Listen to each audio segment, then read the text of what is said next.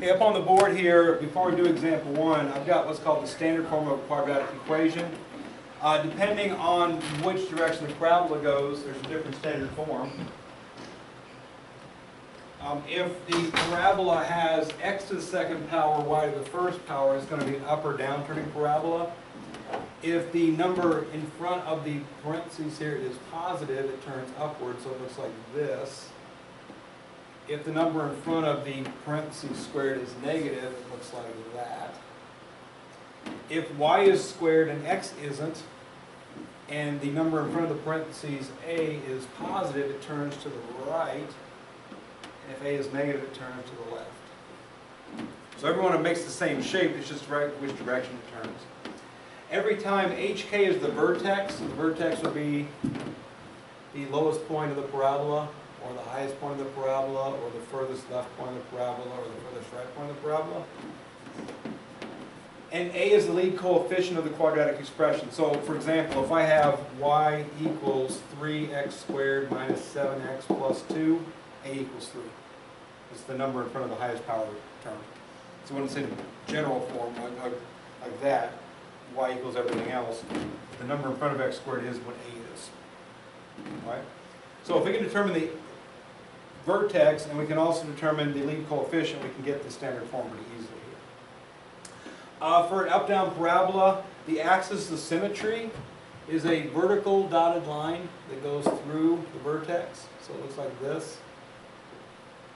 So if an up-down parabola is happening, the axis of symmetry is vertical, it's going to be an x equals number equation, and x equals number h because that's the x-coordinate of the vertex.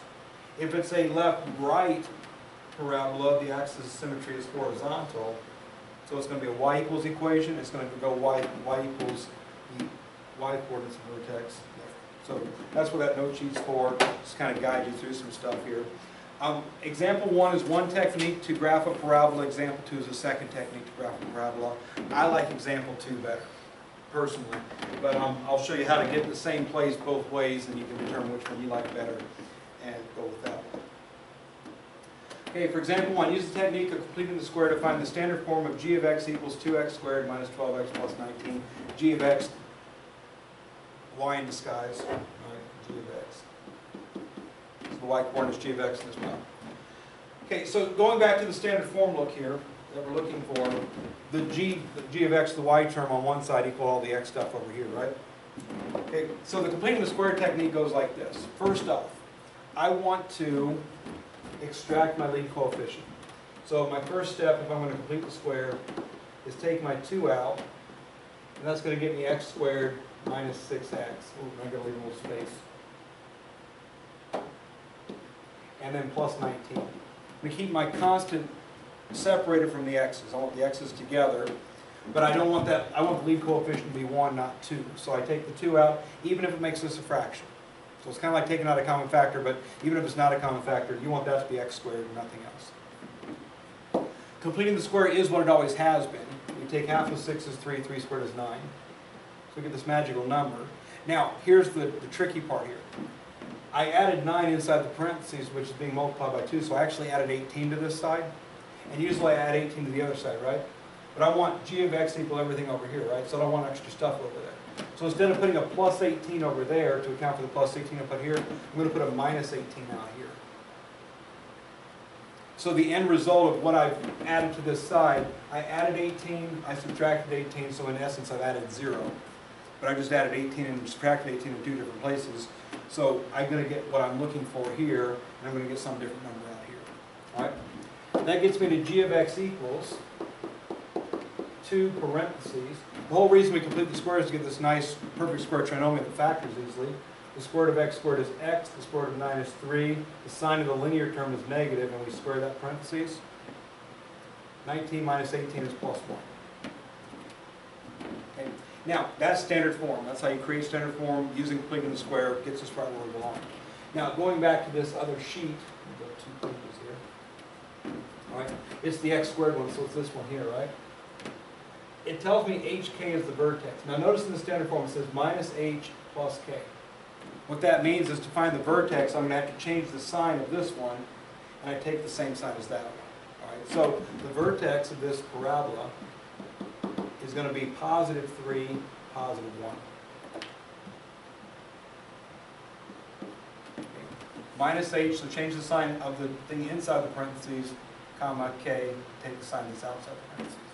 I also know that a is equal to two, which is greater than zero, so it's positive. That tells me my parabola turns upward. All right?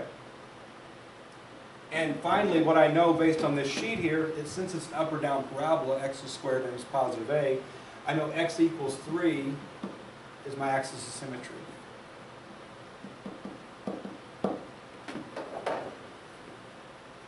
So going back to this, now I want to make a graph. All right, so here's how I graph it. All right, 1, 2, 3, 1 is my ver vertex. X equals 3 is my axis of symmetry, which I'm going to draw as a vertical line dashed through the vertex. All right? This axis of symmetry is a mirror. If I have a point on one side of the mirror, there's a point in the same location on the other side of the mirror. All I have to do is figure out another point. Okay, I usually go with the x, sorry, the y-intercept, 0, comma 19, but I don't want to graph 0, comma 19. It only goes up to 11. I, I could scale it maybe, but I don't want to do that. So um, basically, if I just do a basic XY chart here, that's kind of fancy. Yeah. If I just do a basic XY chart, and I pick any number for X, let's say I pick uh, 4. I would pick something near the vertex. The closer you are to the vertex, the smaller the numbers are going to be. The further you get away, the bigger they get. Right? So picking 4, which is close to that. Now I can go right here. 4 squared 16 times 2 is 32 minus 48 is negative 12, plus 19 is 7, right? I could have also gone right here. That's, I do something wrong? It should be 7. It should be 3. Try again. If that's 4, 16 times 2 is 32, right? Minus 48 is negative 16, plus 19 is 3.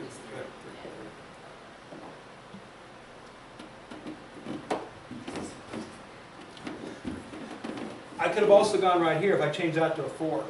4 minus 3 is 1, 1 squared is 1, times 2 is 2, plus 1 is 3. So if you got your standard form, it's really easy. If you're near the vertex, to just stick the number in there, square it, multiply, and add. Either way, you're going to get 3. So 4 comma 3 is a point, and that's one space away from the axis of symmetry to the right. So one space away to the left is also going to be a positive 3. Okay, so that's how you can do it. If I wanted another point, let's say I want a five. Let's do that here. If I put five right here, five minus three is two. Two squared is four. Four times two is eight. Eight plus one is nine. One, two, three, four, five, six, seven, eight, nine. Two spaces away is nine, so two spaces away the other direction is also nine. We've already established zero is going to be 19. That's going to be off the page then. So I just connect those dots. What you notice about this parabola compared to the ones we've seen already is that one's a little bit steeper. Uh, as the lead coefficient gets bigger and bigger and bigger, the parabola is going to go upward much more rapidly, which causes more steepness or a thinner parabola, if you will. If x is equal, or if a is equal to 1, it's just your regular parabola. If, x, if a is less than 1, between 0 and 1, it ends up becoming fatter.